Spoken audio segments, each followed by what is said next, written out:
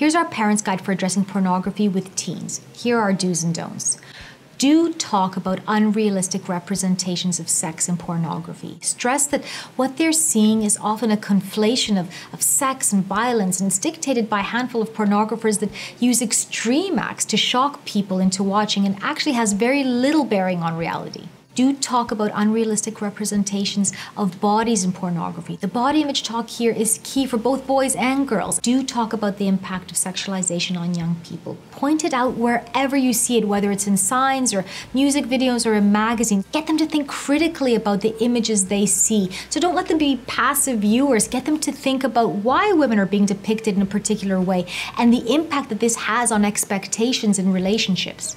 And in terms of don'ts, don't allow pornographers to talk to your kids before you do. You have the chance to influence how they absorb this material, so make sure that you take it. Don't make them feel guilty about what they have seen. You want them to be able to come to you, so you need to be on the same side. And don't forget to check in with them regularly. This is not a one off conversation, so raise it again when they get their first partner and talk about their feelings about intimacy and boundaries. And finally, don't make it difficult for them to come to you. Have an open door policy. Be patient, be on their side.